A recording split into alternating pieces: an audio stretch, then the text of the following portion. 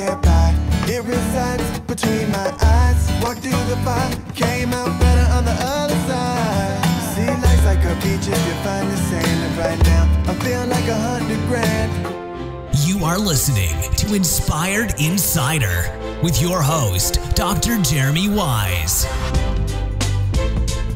Dr. Jeremy Weisz here. I'm founder of InspiredInsider.com, where I talk with inspirational entrepreneurs and leaders like the founders of P90X, Baby Einstein, Atari, many more, how they overcome big challenges in life and business. There's no better person to talk about how to overcome big challenges in life and business. Today we have Dr. Joe Vitale. He's also known as Mr. Fire. He's the founder of Hypnotic Marketing with clients like Red Cross, PBS, many more.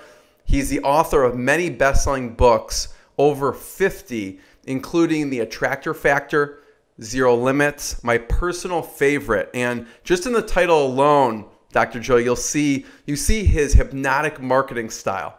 And it's called The Power of Outrageous Marketing, using the time-tested secrets of titans, tycoons, and billionaires to get rich in your own business. He's been on Larry King Live, Donny Deutsch, The Big Idea, CNN, soon to be HBO because he's a strong man.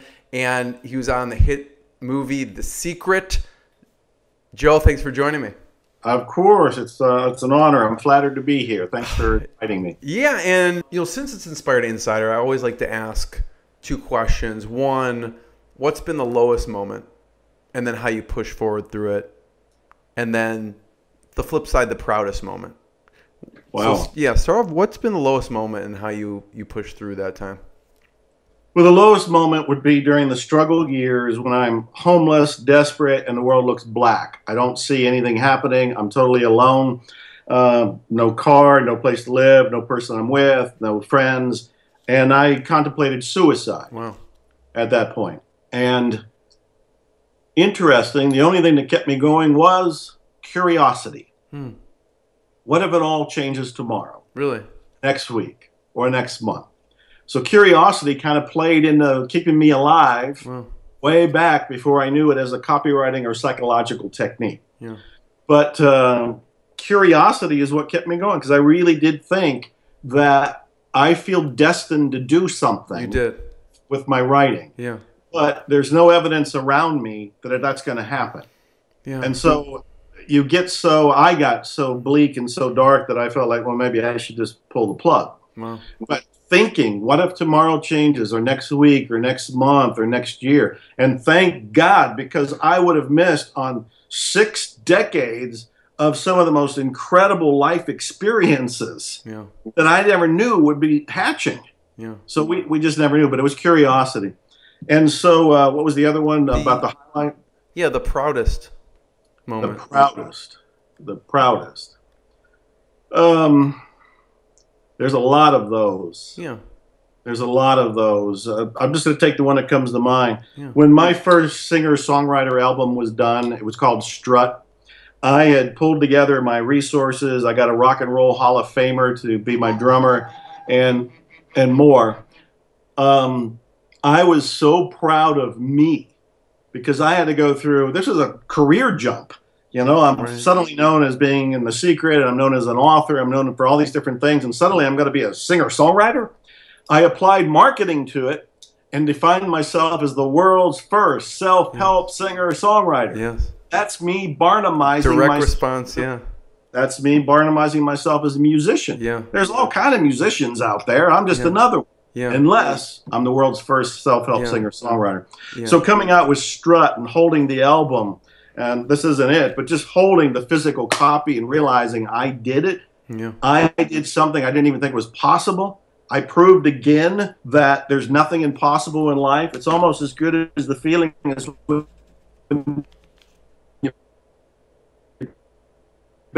when you you really realize there's nothing impossible in life. Yes.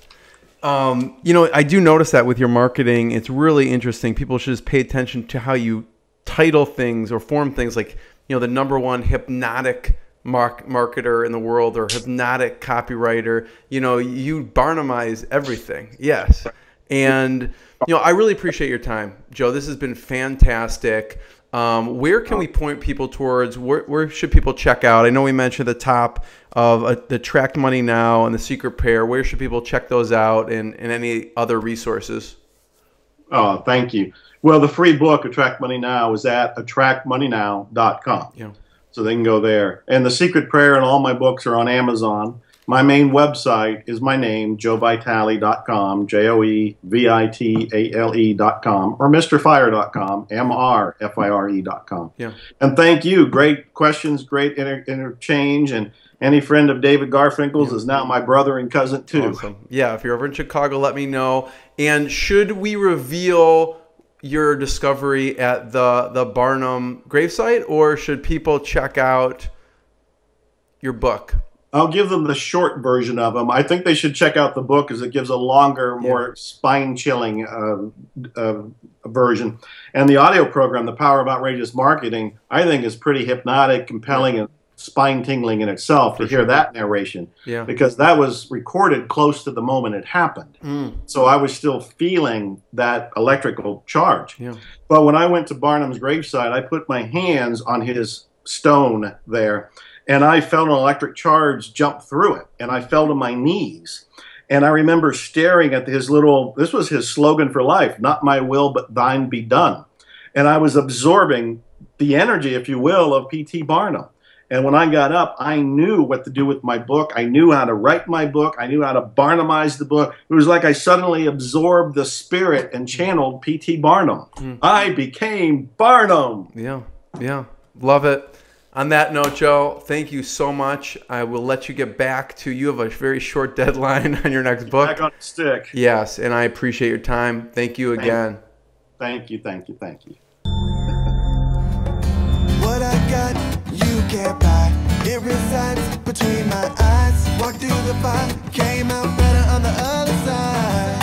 See, life's like a beach if you find the sand. And right now, I feel like a hundred grand.